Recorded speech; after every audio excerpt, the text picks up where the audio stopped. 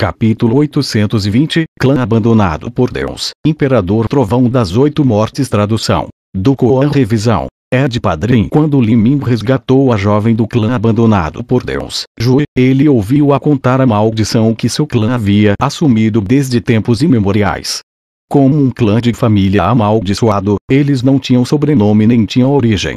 As lendas diziam que os ancestrais de seu clã haviam irritado os deuses, e a punição imposta a eles era que os membros do clã teriam que suportar uma maldição de sangue para todas as futuras gerações.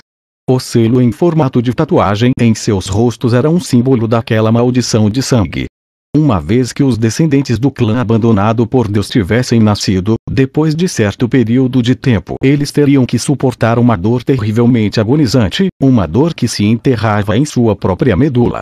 À medida que crescessem a lacuna entre esses sustos de dor se tornaria mais curta e a duração deles se tornaria mais longa. Isso continuaria até que a pessoa amaldiçoada morresse de dor ou eles cometessem suicídio para escapar dela.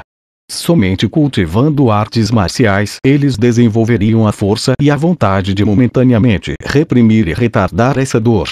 No entanto, o que era triste era que mesmo que os juniores do clã abandonado por Deus tivessem um talento que excedia em muito o de um artista marcial normal, era ainda impossível que eles desobedecessem ao seu destino. Não importa quão longe eles chegassem em seu caminho para as artes marciais, eles inevitavelmente sucumbiriam à maldição da linhagem. O mestre desta mansão havia deixado para trás essas palavras, expressando claramente sua vontade e determinação enquanto lutava com o destino de sua maldição. Estas palavras continham uma vontade inflexível nelas, mas também exalavam um sentimento solene e trágico. Olhar para essa tábua de pedra só fazia sentir que os céus eram injustos. Para esse tipo de herdeiro extraordinário que veio de uma família tão trágica e misteriosa, Li Ming não nutria nada além do profundo respeito. Deixou a tábua de pedra e continuou a avançar. A caverna não era muito profunda. Li Ming só precisou andar mil pés para chegar ao fim, onde havia uma pequena sala de pedra. Quando Limingo entrou nesse cômodo de pedra, imediatamente sentiu uma enorme pressão sobre ele. Era como se uma tempestade de trovões pura e dominante fossem emitidas sobre ele, quase o arremessando de volta para fora. Liming ficou surpreso. Ele revolveu a força do deus Eregé e abriu caminho através desta tempestade para entrar na câmara. A câmara tinha apenas algumas dezenas de pés de largura, Havia uma cama de pedra no centro, bem como uma mesa de pedra e várias cadeiras de pedra. A mesa de pedra e as cadeiras eram todas esculpidas em pedra com núcleo magnético. Essa pedra com núcleo magnético existia no domínio do trovão por incontáveis anos. Depois de ser batizada nessa energia do trovão por tanto tempo, a pedra com núcleo magnético já se tornará tão valiosa quanto os tesouros celestiais. No topo da mesa de pedra do núcleo magnético havia um cristal roxo. Parecia que aquela tempestade trovejante efêmera era emitida por esse cristal roxo agora mesmo. Deitada na cama de pedra havia um esqueleto pacífico. Este esqueleto brilhava como se tivesse sido esculpido em cristal translúcido. Este esqueleto havia ficado aqui por incontáveis anos. Liming não ficou surpreso ao ver este esqueleto aqui. O mestre desta caverna devia ter morrido de forma natural, caso contrário, ele não teria permitido que a espada voasse para encontrar inimigos.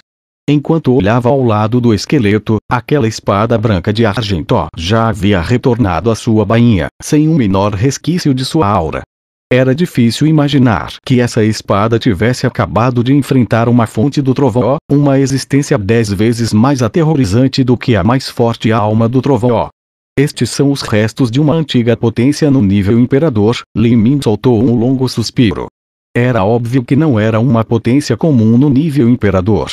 Nenhuma potência ordinária no nível imperador seria capaz de construir sua própria mansão em uma caverna. Essa pessoa pode até ser um personagem do mesmo nível que o imperador demônio. Mas que pena, por mais gloriosa ou inigualável que fosse essa pessoa, eles não poderiam suportar o desgaste dos anos, nem poderiam escapar do sofrimento de seu Sansara. Liming respeitosamente e silenciosamente se curvou. Foi só então que ele descobriu que havia um anel espacial no dedo da potência no nível imperador. Li Ming hesitou. Uma vez que a espada branca de Argentol trouxera para esta mansão em uma caverna, isso não significava que ela consentira em pegar o anel espacial. E neste momento, Muguan de repente gritou em alarme. Li Ming ficou com medo por um momento. Ele rapidamente procurou em seu mar espiritual, pensando que algo havia acontecido com Muguang. Ele viu que o cachorro estava em perfeitas condições, como se nada tivesse acontecido. O que você está fazendo? Você me surpreendeu por um momento Lá Li Ming disse, um pouco descontente. Rapaz, olhe o que está naquela mesa de pedra. Li Ming olhou na direção que Muguang apontou. Na mesa de pedra havia um cristal roxo do tamanho de um punho e, ao lado do cristal roxo, havia pedaços menores do cristal roxo quebrado. Era aparente que pedaços menores de cor roxa haviam sido arrancados do maior. Li Ming viu esses cristais roxos assim que entrou na sala. Eles continham uma energia extremamente pura do atributo trovão. Estava claro que eles eram algum tipo de tesouro celestial de atributo trovão. Mas, o que Liming havia investigado pela primeira vez era o esqueleto da potência no nível imperador, assim ele deixou de lado aqueles cristais roxos por enquanto. Ele liberou sua percepção e a examinou, mas não conseguiu encontrar nenhuma lembrança relacionada em sua mente. Afinal, as memórias que ele herdou dos anciãos supremos do reino dos deuses foram apenas fragmentos arruinados. O que é isso? Perguntou Li Ming. Muguan soou como se estivesse hiperventilando de excitação. Se este não fosse o domínio do trovão e ele não ousasse aparecer ao ar livre com sua forma de alma, então ele já teria saído do mar espiritual de Li Ming. Se este santo não estiver errado, então esse é o cristal da origem do trovão que uma fonte do trovão nascia. Este é um tesouro celestial que pode refinar um espírito de batalha. Mesmo no reino dos deuses, esse tipo de tesouro divino só pode ser achado por pura sorte, simplesmente não pode ser encontrado. Refinar um espírito de batalha. O coração de Lin Ming bateu forte. Havia uma frase no mundo das artes marciais do reino dos deuses, o corpo mortal é fácil de treinar, mas o espírito de batalha é difícil de completar. Embora houvesse muito poucos artistas marciais do caminho marcial do fortalecimento corporal no reino dos deuses, o número total de artistas marciais no reino dos deuses era simplesmente aterrorizante demais. Só podia ser registrado em trilhões. Para um artista marcial no caminho marcial do fortalecimento corporal, os recursos que eles tinham que consumir eram pelo menos 100 vezes maiores do que um artista marcial do caminho marcial do recolhimento de energia. Ainda assim, sempre foi uma boa ideia refinar o corpo mortal. Enquanto alguém estivesse disposto a sacrificar uma quantidade inacreditável de recursos, eles poderiam sempre abrir os oito portões internos escondidos, mas um espírito de batalha era diferente. Era muito mais difícil cultivar do que o corpo mortal. Antes que um espírito de batalha fosse oficialmente formado, ele só poderia ser temperado com a vontade de outras potências. Por exemplo, o osso do demônio sanguinário que Liming encontrou antes era esse tipo de tesouro. Mas depois de formar um espírito de batalha, especialmente depois de alcançar o pequeno sucesso do nível bronze ou o grande sucesso, havia muito, muito poucos materiais celestiais que poderiam refinar um espírito de batalha. Isso porque um espírito de batalha era formado a partir da vontade de um artista marcial. A vontade de um artista marcial dependia de seu coração e consciência. Tinha influência mínima de forças externas, Assim, era por isso que era dito que o corpo mortal era fácil de treinar, mas era difícil completar um espírito de batalha.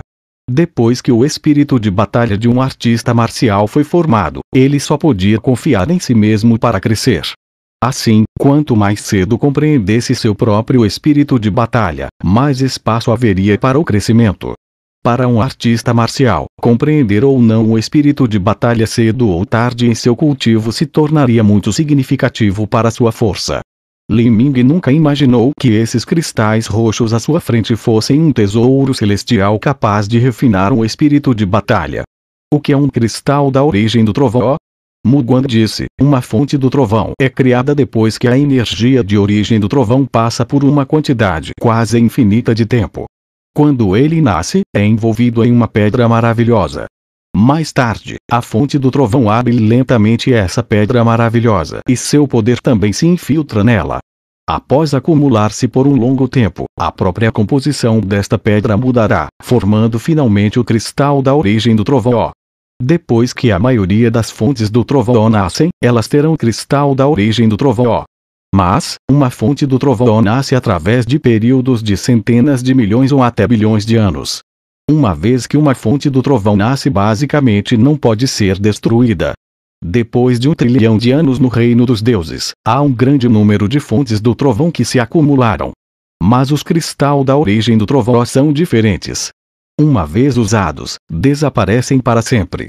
Em 10 mil anos do reino dos deuses, quantas fontes do trovão nascerão? É por isso que há muito poucos cristal da origem do trovão. Assim, eles estão além do precioso. Eu também estou supondo que a fonte do trovão que vimos antes apenas confrontou a espada branca de Argento porque queria retomar seu cristal da origem do trovão. A explicação de Wang causou uma epifânia no coração de Li Ming. Essa chance de sorte só poderia ser encontrada através da serendipidade. Ele olhou para o espada branca de Argento a espada ainda estava na bainha e não teve reação, como se permitisse que Liming tomasse livremente o cristal da origem do trovão. Liming encarou primeiro o esqueleto cristalino e depois se curvou profundamente em respeito. Então, ele cuidadosamente colocou o cristal da origem do trovão em seu anel espacial. Neste momento, a espada branca de Argentó tremeu ligeiramente. Um punhado de luz saiu do cabo da espada, envolvendo o anel espacial do esqueleto de cristal e levantando-o lentamente antes de flutuá-lo em direção a Liming. Isso deixou Liming perplexo. A espada queria dar-lhe este anel espacial. Ele já se sentia um pouco culpado por pegar o cristal da origem do trovão e agora a espada branca de Argentor desejava dar a ele o anel espacial de seu mestre, Embora se possa dizer que qualquer coisa nesse anel espacial teria sido inútil para uma espada, eles só se encontraram por acaso. A espada não deveria estar lhe dando um presente tão generoso. Era porque sentia o pingente de Jade da deusa e o considerava descendente do clã abandonado por Deus. Enquanto Li Ming imaginava todo tipo de cenário, um pergaminho de jade surgiu do anel espacial, envolto em energia e flutuou lentamente na mão de Li Ming. A mente de Li Ming se moveu quando ele percebeu que era aquilo. Ele pegou o pergaminho de jade em sua mão e varreu seu sentido divino através dele. Este não era um manual com um método de cultivo raro, mas sim uma carta que registrou as experiências de vida do mestre da caverna. E agora Li Ming sabia o nome desse mestre da caverna, Imperador Ao. Seu nome era Ao Imperador, representava seu reino. Ele não tinha sobrenome, o mesmo que Jumi. Além do Imperador Ao, ele também tinha um título o Imperador Trovão das Oito Mortes. Oito mortes, então também é oito mortes qualquer artista marcial que possa desfrutar de tal título deve ser uma potência que cruzou oito vezes as etapas da destruição da vida. Desde os tempos antigos, o continente da queda do céu pode contar com o número de potências imperadores das oito mortes em uma única mão. Até mesmo o imperador demônio estava apenas na sétima etapa da destruição da vida. Li Ming continuou a ler a carta de Jade. Quanto mais ele lia, mais admiração e reverência ele tinha pelo imperador trovão das oito mortes. Quando o Imperador Trovão das Oito Mortes era uma criança, seu talento marcial não era considerado muito notável, especialmente no clã abandonado por Deus, que estava repleto de gênios. Lá, seu talento era apenas comum. No entanto, sua vontade era dura e ele treinou extremamente diligentemente, até os limites possíveis.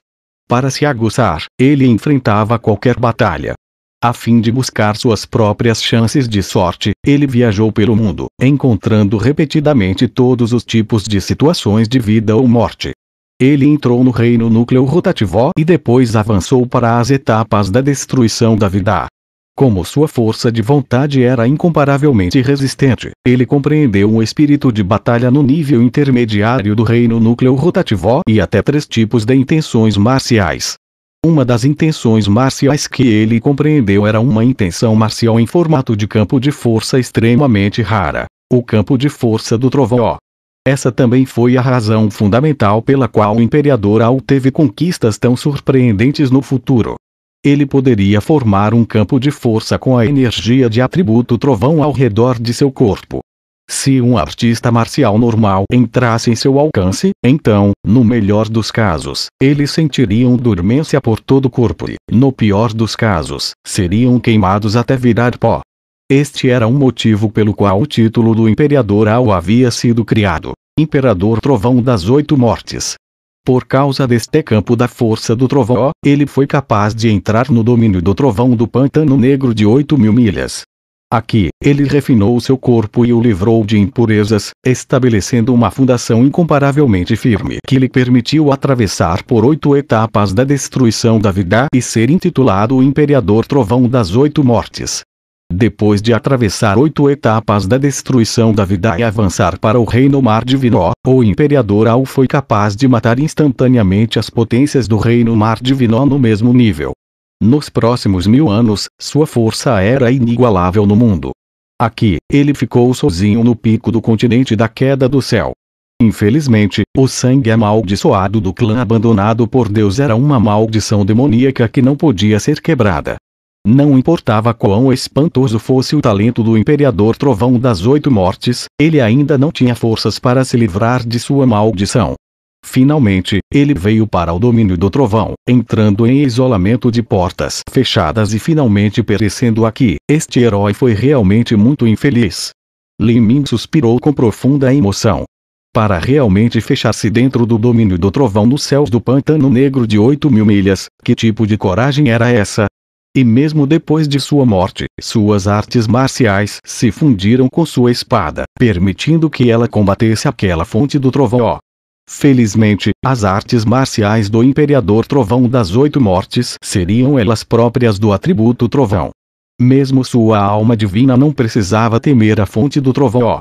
Nesse aspecto, era algo com que a alma divina de Mugwand simplesmente não podia se comparar.